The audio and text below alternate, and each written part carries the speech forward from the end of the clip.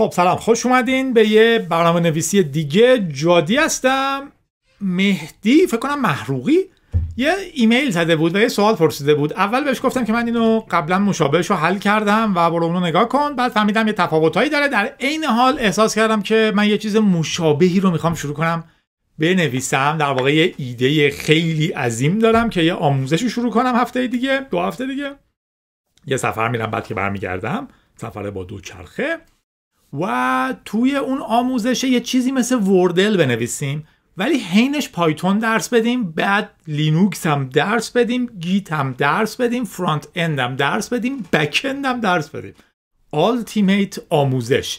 و فقط من نویسم واقعا درس بدم کارهایی که دارم می‌کنم رو. یعنی فقط اون تیکه که انجام میدم و نگم. مفهوم رو بگم اون تیکه رو پیاده کنم. حالا باید بهش فکر کنم که انجام میشه یا نه. یه بخشیش هم شبیه این مسئله است در واقع. نکته اینه که چیزی که پرسیده مهدی میگه چه کسی می‌تونه این قفل رو باز کنه. بازی کلاسیکیه که زمان بچگی ما بهش می‌گفتن فکر بکر. نمی‌دونم هنوزم هست فکر بکر یا نه ولی این شکلی بود که شما یه حدسی می‌زنین یه عددی در ذهن طرف هست مثلا 641 شما حدس می‌زنین 681 بهتون میگه نه ولی یکیش رو درست حد زدید جاش هم درست حد زدید. دو تا دیگهش اشتباهه. شما نمی‌دونین کدومش رو درست حد زدینا در واقع عددی که حالا تو ذهن اونه که ما نمی‌دونیم چیه فعلا گفته که 682 گفته یکی از عددا درستن تو جای درستم هستن.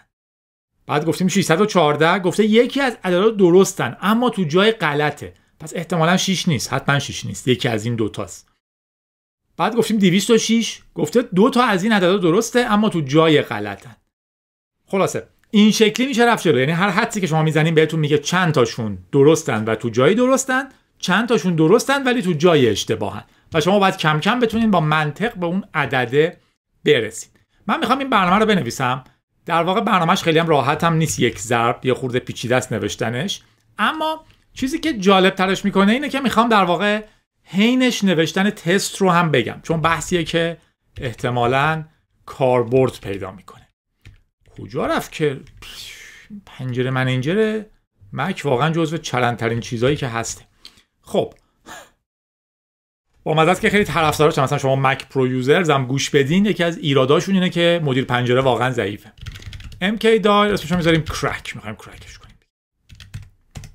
خب من اینجا tmux عزیزم رو مثل همیشه run می‌کنم که بتونم تیکه تیکه کنم. یکی گفته بود چرا توی کد اینا رو نمی نویسی من تو Vim گیج میشم. کده که همون کد است. نباید گیج بشین و در این حال باید Vim یاد بگیرین. هر برنامه نویسی باید Vim بلد باشه. حالا هر رو پس می‌گیرم ولی آدمی که در دنیای کامپیوتر جدی کار می‌کنه احتمالا باید با Vim هم بتونه کار کنه. حداقل اگر قراره با Unix Linux و سرورهای درست حسابی و بزرگ و اینجور چیزا کار کنه. خلاصه. تیماکسمون رو ران کردیم. من میگم ویم کرک پیوار سعی می‌کنم تو بعدیا ببینم اتفاقا اتوپایلوت هم ببینیم. اتوپایلوت جادوهای عجیبی داره می‌کنه. و برنامه رو شروع می‌کنم. خب من ایدم اینه که باید همه عددها رو برم از در واقع 100 اگر اشتباه نکنم تا 999 و این شروط رو روی همش چک کنم ببینم چی میشه. آره. برای چک کردن اینا من ایدم اینه که یه function بنویسم که بهش دو تا عدد میدیم. حالا دو تا string میدیم یا عدد میدیم؟ فرق نمی‌کنه. دو تا string میدیم. string A و string B. براتون یه tuple برمیگردونه. X و Y. که اولی میگه چند تا از اینها تو جای درستن. دومی میگه چند تاشون هستن ولی تو جای اشتباهن. ایدم اینه که این function رو بنویسم. اگر دوست دارین خودتون می‌تونین سعی کنین بنویسین. function خیلی راحتی هم نیستش. من اسمشو می‌ذارم sit مثلا. سیچویشن وضعیت اینو برمیگرد احتمالا اسم بهتری هم می‌شد پیدا کرد. آ رو ب رو می‌گیره. معمولا شما خوبه که اسم متغیراتون طولانی با معنی و چی چی باشن. اما در این مورد خب آ و ب کاملا با معنی هن. آ و ب رو می‌گیرید بعدش میگم به ازای هر کاراکتری در آ سی هم با معنیه چون اول کاراکتره یا خود اینجا فکر می‌کنیم. هر کاراکتری در آ خیلی خوب نیست. من می‌خوام چی کار کنم؟ در واقع من می‌خوام بگم که یک دو سه یک چهار شیش. اینا رو می‌خوام با هم مقایسه کنم. پس من باید در طول این پیش بیام بگم کاراکتر صفرم رو با کاراکتر صفرم مقایسه کن. کاراکتر یکم رو با کاراکتر یکم مقایسه کن. کاراکتر دوم رو با کاراکتر دوم مقایسه کن. هر کدوم مساوی بود یکی اضافه کن. خب این آسونه خیلی. من میام این بالا یه دونه چیز تعریف می‌کنم. مثلا میگم correct که یعنی درسته صفر تاست. بعد میگم for i. ببینیم به این دلیل آی خوبه. شما می‌تونید بگین تا ته خط رو پاک کن. پس میگم def function sit با پارامترهای آ و ب correct رو برابر صفر قرار بده. for i in range len آ در طول آ حرکت کن. می‌دونم طولاش با هم مساوی تو این حالت خاص. if آ i مساوی بود با دوتا مساوی یعنی اینکه برابر بودن دیگه. شرط چک می‌کنیم. در صورتی که آ i مساوی بود با به آی کرکت رو به علاوه مساوی یک بکن. من الان شمردم چند تا کاراکتر توش مساویه. حالا باید پیدا کنم که چند تا کاراکتر هستن که این تو هستن ولی سر جای درستشون نیستن. مثلا مثال بهتر هستش. اگر من دارم یک دو سه رو مقایسه می‌کنم با یک چهار دو. خب الان منطق من میاد یک رو با یک مقایسه می‌کنه میگه که یکی کرکت دو رو با چهار مقایسه می‌کنه نیست. سه رو با دو مقایسه می‌کنه نیست. حالا من باید بیام یه بار دیگه دونه دونه چیزایی تو آ رو نگاه کنم ببینم تو ب هستن یا نه. ولی نباید سر جاشون باشن این منطق رو می‌تونیم با شکل خیلی مختلفی بنویسیم. یکیش اینه که مثلا سری اول که میایم اگر یک رو پیدا کردیم اصولا یک رو خط بزنیم با یه چیز بیخودی عوضش کنیم که دیگه نباشه اصلا. و بعد اینها رو مقایسه کنیم ببینیم اون تو هست یا نه. این یه ایده است. ایده شاید قشنگتر اینه که اگر یک دو سه رو دارم مقایسه می‌کنم با یک چهار دو سری اول که دارم میام من دوتا متغیر دیگه تعریف کنم. مثلا بگم A R A remaining چیزایی که از A باقی موندن. یه دونه متغیر دیگه هم تعریف کنم به اسم B remaining. هر دوی اینها رو یه سری لیست در نظر بگیرم و بعد بیام توی سری اول که دارم یک رو با یک مقایسه می‌کنم. بودن که هیچ. ولی بعد اگر دو رو مقایسه کردم. با چهار و دو نبود یعنی مساوی نبودن که نیستن دو رو توی در واقع A remaining بنویسم. بگم از متغیر آم یه دو مونده. بعد که سه رو با دو مقایسه می‌کردم سه رم این تو بنویسم. و چیزایی که تو ب بودن یعنی چهار و دو رو اینجا بنویسم. در واقع من دو تا متغیر درست می‌کنم که هر کدوم یه لیستن A R و B R. A remaining B remaining بعد میگم که یه دور دیگه بیا یکی یکی هرچی تو A R بود رو مقایسه کن. اگر توی B R بود از B R حذفش کن و یکی به فاوند اضافه کن. یعنی یکی هم پیدا کردم این می‌تونه منطق تمیزی باشه و جواب بده به تکراریا. مشکل اصلی ما تو تکراری هست اگه دو تا دو بود چی میشه؟ پس من میام این بالا. کرکت رو که صفر کردم هیچی. فاوند رو هم صفر می‌کنم. تعدادی که بوده ولی جاش درست نبوده. بعد میگم A R مساوی یه لیست خالی B R مساوی یه لیست خالی و بعد میام میگم که این کارو کردی در صورتی که توی همش تو i حرکت می‌کنم بعد میگم اگر آ مساوی ب بود به correct اضافه کن در غیر این صورت اگر اینا یکی نبودن A R append کن چی رو؟ A i رو کاراکتر i اُم A رو و به B R هم append کن B i رو. مثلا می‌خوام خیلی زیاد بخونم برای اینکه دوستانی که کم بینا هستن یا مشکل بینایی دارن بتونن دنبال کنن. راحت تر. یه دوستی گفته بود که اگر بتونی زیرنویس هم بکنی کسایی که مشکل شنوایی دارن می‌تونن حل کنن. زیرنویس خیلی انرژی بیشتری می‌بره. من بهش متاسفانه نمی‌رسم. تونتون هم حرف می‌زنم. ولی امیدوارم کد تا یه حدی قابل درک باشه. حالا اگر تکنیکی پیدا کردم که بتونم زیرنویس راحت تری بکنم علاقمندم در نهایت این کمک اتفاق بیفته و بسیار ارزشمند. اگر کسی می‌دونستم چجوری میشه راحت زیر نویس کرد به هم ایمیل بزنه یا اگه ویدیو رو زیر نویس می‌تونه فایل بده فایل بده. نمی‌دونم تو یوتیوب چه جوریه. خلاصه من در حالتی که A I کاراکتر i اُم توی A با B مساوی بود به correct که اضافه می‌کنم. در غیر این صورت اون دوتا کاراکتر رو به A R A remaining و B remaining اضافه می‌کنم و همین دیگه کاری ندارم.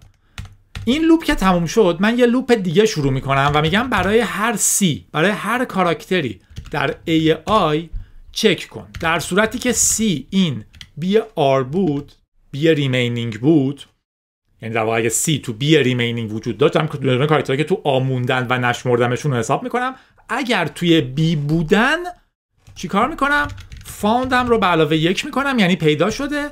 از بی آر ریموو می‌کنم. سی رو. حواستون هست دیگه. اگر اینا رو بلد نبودین می‌تونین یه دونه IPython باز کنین توی پنجره ای و بنویسین. آ مساویه با یک دو سه سه سه. یه لیست درست کردم. آ رو که بزنین اینجوری میشه. اگه بزنین دو این آ بهتون میگه True ه دو تو آ هست. اگر بزنین آ ریموو. دو و بعد بزنین آ می‌بینین که دو رو ازش حذف کرد. اگه بزنین آ ریموو سه ما الان سه تا سه داشتیم و دوباره آ رو ببینیم ببینین یکی از سه آ رو حذف کرد. در ما اینجوری مشکل تکراریمون رو حل می‌کنیم. این خیلی زیاد اتفاق میفته من زیاد می‌کنم. یه پنجره باز می‌کنم توش اینو نگاه می‌کنم که چه کار می‌کنه درست کار می‌کنه چیزی که نوشتم خوبه یا نه. الان من در واقع یه function دارم که این کارو می‌کنه و در نهایت هم میگم که return کن correct و found من الان انتظار دارم که بازی فکر بکر رو جوابش رو نوشته باشم. logic ش رو پیاده کرده باشم. اما آیا این درسته یا نه؟ ما می‌دونستیم که برنامه‌ای که می‌نویسیم خوبه که دائم تند تند چکشون کنیم. اینجا می‌خوام در مورد یه بحث جالب حرف بزنم. اونم pytest ـه. من این در مورد تست حرف نزدم. باید یه بار مفصلتر حرف بزنم. ولی در واقع شما unit test می‌کنید. میگین که حالت عادی من می‌دونم که این function باید اگر این ورودی رو بگیره این خروجی خاص رو تولید کنه. خب من الان باید بشینم این رو تست کنم با چندین مدل تست کردن. مثلا اگر من می‌خوام اینو تست کنم قبل از اینکه بقیه برنامه رو بنویسم میگم پرینت کن برام. sit یک دو سه string و یک چهار پنج string خب الان می‌دونم که این باید بشه یک و صفر. صفحه نصف می‌کنم. میگم که پایتون 3 crack رو برام run کن. یک و صفر. درسته. این مثالم درست بود. شاید برنامه درست نوشتم. باید بگم پرینت کن sit یک دو سه رو با یک چهار دو. باید بشه یک و یک اگه اشتباه نکنم. برنامه رو دوباره run می‌کنم میشه یک و یک. ببین من دارم برنامه رو تست می‌کنم. این تست رو من دارم دستی می‌کنم و بعد باید پاکشون کنم. یه شیوه خیلی خیلی خیلی راحت توی پایتون برای تست هست. اون اینه که شما یه function ی تعریف می‌کنین که اول اسمش تست داره. می‌زنین def test sit. من میگم من می‌خوام sit رو تست کنم. define کردم test sit بدون هیچ ورودی. این در واقع یه library به اسم pytest که اینجوری کار می‌کنه. شما هر وقت یه function بنویسین که توش اولش تست باشه هر وقت pytest رو run کنین میره اینو پیدا می‌کنه و run ش می‌کنه. چجوری باید تست کنین؟ من الان پرینت می‌کردم دستی و می نوشتم پرینت کن sit فلان و جوابش باید اون باشه خودم نگاه می‌کردم. من اینو می‌تونم به pytest بسپرم. می نویسم ای بابا. می نویسم assert. انتظار دارم که sit این و این مساوی بشه با دوتا مساوی با یک و صفر. خط بعدی می نویسم. Assert sit function sit در واقع میگم چه function ی رو call کن و جوابت باید چی باشه. باید این مساوی باشه با یک و یک. دوباره خط بعدی می نویسم. Assert sit این دفعه می‌زنم یک دو سه و چهار پنج شیش. باید دو تا مساوی باشه با صفر و صفر. خط بعدی می نویسم assert assert کلمه کلیدی پایتونه. در واقع یه چیزی رو چک می‌کنه. اگه نبود یه گیری به شما میده. سیت. حتی می‌تونم چیزای حالا الان این تستایی که میشم همشون باید در واقع درست شده باشن. یک دو سه و یک دو سه باید مساوی بشه با سه و صفر. سه تا هستن سه تا سر جاشن. ببینید من یک کلمه assert نوشتم. الان که اگه برنامه‌مو طبیعی ادامه بدم هیچ فرقی نمی‌کنه. برنامه‌مو انگار نوشتم و هیچی نمیشه. چرا؟ چون که در واقع این یه function تسته که call هم نشده. در نه پرینت اضافه دارم نه لازمه پاکش کنم نه هیچی. ولی اگر کتابخونه pytest رو نصب کرده باشم اگه نکردم کافیه بزنم pip install pytest و در واقع نصبش می‌کنه. من اگر الان اینجا بنویسم pytest اسم برنامهم رو این برنامه ها رو می‌خونه میگه که بذارین یه بار دیگه رانش کنم تمیز. این برنامه ها رو می‌خونه میگه که من یک دونه تست توی کرک تست پیدا کردم رانش کردم و پس شد. درست بود تستت. ببینید چقدر باحال بود. در واقع خودش یکی یکی اینا رو ران می‌کنه و درست میشه. اگه من یکی از اینا رو اشتباه نوشته باشم مثلا گفتم یک دو سه و یک دو سه باید بشه دو و صفر. خب اینو run می‌کنه جوابش اشتباهه. پنجره رو بزرگ کنم که راحت تر ببینین. میگه که اینجا تو اون خطی که نوشت error میده و میگه یه تست داشتین که fail شد. اون خطی که نوشته بودین assert sit یک دو سه و یک دو سه باید بشه دو و صفر پس نشد. جوابش شد سه و صفر. پس من تستام fail شده صد درصد تستاتون خراب شده. این تست فوق العاده ای ننوشتیم ما در این مورد. به دو سه دلیل. اولا که خیلی وقتا شما تست رو توی همون فایل نمی نویسید pytest اگه من الان همینجوری خالی run کنم هیچی تست پیدا نمی‌کنه. دلیلش هم اینه که میره نگاه می‌کنه چه فایلی هستش که اولش اسمش تسته یا آخر اسمش تسته. اونا رو تست می‌کنه. به همین خاطر من الان که فایلم اونجوری نیست باید دقیقا بگم برو فایل crack رو نگاه کن. اگر بگم فایل crack رو نگاه کن یا همون فایلی که خودش پیدا می‌کنه که اولی آخرشون تستن function هایی که اول اسمشون تست رو نگاه می‌کنه و همشون رو run می‌کنه. من در واقع اینا رو می‌تونستم function های متنوع تری بنویسم و قشنگتر می‌شد. من همشون رو تو یه function نوشتم. اسمش هم گذاشتم test sit. می‌تونستم function اشو عوض کنم. تست دوتاشون یکی باشه. تست هیچ چیزوش نباشه. تست فلان. و چندین تست مختلف بکنه. ولی من اینجا فقط می‌خواستم مفهوم خیلی کلی تست کردن رو به شما نشون بدم. نوشتن تست. دیدین که من یه assert کردم. یه function ی درست کردم که اولش تست بود. assert کردم. اگه این function رو صدا کنی با این پارامترها انتظار دارم جوابش این بشه. بعد دیگه هر وقت pytest رو روی این فایل run کنم خودش میره. فا... function هایی که اول اسمشون تست هست رو پیدا می‌کنه. یکی یکی نگاهشون می‌کنه assert اشون رو run می‌کنه. اگر assert اشون جوابش با چیزی بود که من بهش گفته بودم قبول می‌کنه که این تست pass شده. این کار چرا فایده داره؟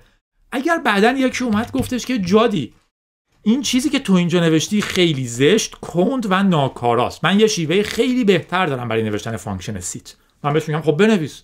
هیچ کسی به برنامهش به عنوان هویتش نگاه نمی‌کنه. اگه تو میگی برنامه من بده خب یه بهترش رو بنویس. اگه تو میگی من برنامه بدی ام خب من میرم برنامه بهتری میشم. اگه تو میگی من آدم بدی ام بهت میگم اینجوری نگو. عزیزم خب اگرم بدم بدم واقعا. به حال اگه یکی به کد شما ایراد گرفت کدتون رو اصلاح کرد فکر نکنین کدتون فرزندتون اثر هنریتون نباید دست بخوره. یه چیزی نوشتین یه کاری می‌کنه. بعدا اگه کسی بهتر نوشت خیلی هم خوشحالتر بشین و یاد بگیرید خلاصه یکی گفتش که اینو تو بد نوشتی من یه دونه function نوشتم از مال تو ده برابر سریعتره. من بهش میگم اه چه باحال بیا function تو جایگزین function من کن. جایگزین می‌کنه من دیگه نمیشینم نگاه کنم چی کار کرده آیا درست کار می‌کنه یا غلط کار می‌کنه. بلکه همینی که کدش رو اضافه کرد میام می‌زنم pytest crack و میگه okay همه تستای تو pass شد پس function ش درسته با این ورودیایی که تو میدی خروجیایی رو میده که تو می‌خوای. می‌بینین تست چقدر مفیده. حتی خیلی وقتا در طول زمان شما برنامه می‌نویسین و برنامه شما بزرگتر میشه بزرگتر میشه بعد تغییر می‌کنه feature اش عوض میشه. خیلی احتمال داره که شما یه feature ی اضافه کنین که یه جای دیگه یه چیزی رو خراب کنه. ولی اگه شما برای اونجای دیگه قبلا تست نوشته باشین حتی توی خیلی از سیستم ها این شکلی که شما برنامه رو که آپلود می‌کنین تو Git تون در واقع push می‌کنین اتوماتیک میره از تستا رد میشه. اگر همه تستا رو pass کرد در واقع یه تیکی می‌خوره که این تستا رو pass می‌کنه. ممکنه تست رو break کنین. در نتیجه هی اشکال هایی که ممکنه اتفاقی تو برنامهتون درست بشه کمتر میشه. حتی ایده هایی هست مثل TDD که شما اول بشینین فقط تستاتون رو بنویسین. اصلا function sit تو ننویسین. function sit تو بنویسین return true return صفر. تستاتون رو بنویسین. بعد که همه تستاتون رو نوشتین تست رو run کنین. error میده. بریم function تو درست کنین که error اتون کمتر و کمتر بشه. در واقع شما میگین برنامه من می‌خوام چی کار کنه؟ حالا برم function اشو بنویسم. به جای اینکه اول بگیم من این سری function نوشتم حالا ببینم اون کاری که می‌خواد بکنه رو می‌کنه یا نه. ایده های جالبیه. خلاصه من تست نوشتن رو دوست دارم و به نظرم کار باحالیه. تست حرفه‌ای رو اینجوری نمی نویسن و گفتم توی فایل جدا می نویسن با چیزهای دیگه ولی در نهایت به اندازه کافی در لحظه به نظرم در مورد تست حرف زدیم میریم برنامهمون رو ادامه میدیم. مثلا چی داشتیم می نوشتیم یادتونه؟ آ می‌خواستیم این قفل رو باز کنیم. خب من الان به اینجا رسیدم. من میام میگم که حالا لاجیک هم رو دارم. پس کافیه که بیام این رو پیاده کنم. من میگم که for i این ranges هزار از 100 تا هزار عدد سه رقمیه. چیکار کن؟ الان متوجه یه نکته شدم. می‌تونه 100 نباشه می‌تونه 0 50 باشه مثلا. ولی حالا بذاریم بنویسیم ببینیم چی میشه.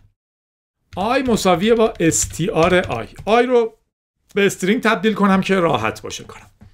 بگم که if sit i و 682 که به شما دادن سوال گفته 682 یکی از این اعداد درسته؟ تو جایی درستشه. مساوی بود با چند؟ یکی از اعداد درسته و در جای درسته. اینو می‌ذاریم می‌تونیم بریم باهاش خط بعدی. and م بزنم. and sit i و گفته با 614 یکی از اعداد درسته اما در جای غلطه یکی از اعداد درسته اما در جای غلطه and sit i و گفته تو 206 اگر چکش کنین یه دو تا از این اعداد درستن اما در جای غلطن. یعنی صفر دو جوابش. And سیت ببخشید برای بعد دوستان کمبینا نگفتم از اول. اصلا کلا داریم یه مسئله رو حل می‌کنیم که میگه چه کسی می‌تونه این قفل رو باز کنه و یه سری چیزا داره. مثلا گفته 682 اگر بگیرین در نظر یکی از اعداد درسته در جای غلط. داریم اونو پیش میریم و بعد میگیم آی و گفته با 738 تمام اعداد غلطن. صفر و صفر. And اون سلش رو که می‌ذاریم در واقع باعث میشه که بتونیم backslash بریم خط بعد. sit slash باید باشه یا backslash باید باشه. حالا معلوم میشه. sit i و آخریش هم گفته 380 یکی از اعداد درسته ولی در جای غلط یعنی صفر و یک. در صورتی که این بود پرینت کن i رو. ما الان logic مون رو هم نوشتیم. کافیه که برنامهمون رو run کنیم ببینیم چی میشه. برنامه رو run می‌کنیم و هیچی نمیشه و جواب نمیده. pytest مون ولی درست بود. یعنی ما در واقع همش رو درست نوشتیم ولی جواب نمیده. یه چیزی که من به شک کرده بودم اینجا هم مسئله رو نگاه کنین کاملا معلومه چیه. در واقع عدد تقریبا معلومه. مشکل اینه که عدد کمتر از صده و ما داریم از صد چک می‌کنیم. می‌تونه صفر فلان باشه. در واقع عدد رو من باید بگیرم از صفر. تا هزار. می‌تونه صفر پنجاه باشه همونجوری که گفتم. اما مشکلی که پیش میاد اینه که لاجیک من یه جوری نوشتم که فقط سرقمی رو با سرقمی مقایسه می‌کنه و رمز صفر در واقع باید صفر پنجاه بشه. اگه بازم ندونین می‌تونین سرچ کنین ولی من اینو بلدم. می‌تونم بزنم IPython. search کنم که آیا اونی که بلدم درسته یا نه. ولی می‌تونین search کنین how to pad number with zeros in python. ایده اینه که من در واقع عددم اگر 50 باشه i مساوی 50 str i میشه 50 string 50 قبلش صفر نمی‌ذاره. ولی من می‌تونم بگم str i در نتیجه string 50 رو من میده. نقطه zfill داشتیم آره. تب زدم کامل کرد. خوبی اینه که می‌تونه توی IPython کامل کنی. zfill سه. من میگم می‌خوام اینو سه رقمی کنم zero fill ش کن. قبلش با صفر پر کن.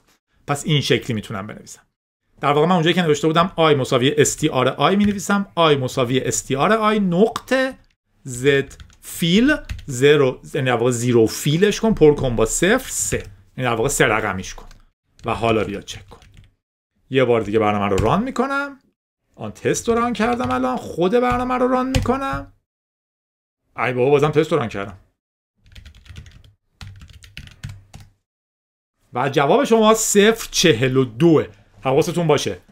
صفر چهل و دو با مزن بود جوابش. احتمالا یه گیکتوری نوشتتش چون که جواب تمام کهکشان ها و همه چیز دوه. اگر دنبال جواب کهکشان تو وبلاگ من بگردین حتما در موردش یه جایی نوشتم. خلاصه. برنامه رو که نوشتیم هیچی. در مورد تست ها هم برای اولین بار در زندگی من فکر کنم حرف زدیم.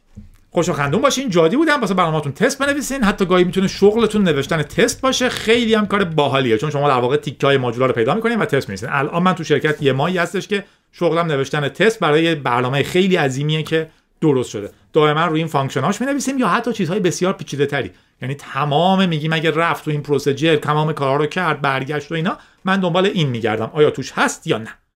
خلاصه خوش خندون باشین. جادی بودم library pytest رو نگاه کنید unittest فکر کنم استانداردتر بوده توی پایتون ولی pytest بسیار سرراستتر راحتتر و قشنگتر نوشته میشه. خوش باشین.